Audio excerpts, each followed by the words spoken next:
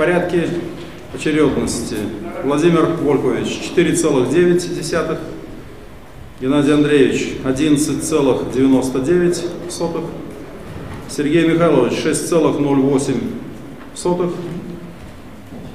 Михаил Дмитриевич 12,28 и Владимир Владимирович 63,56 соток.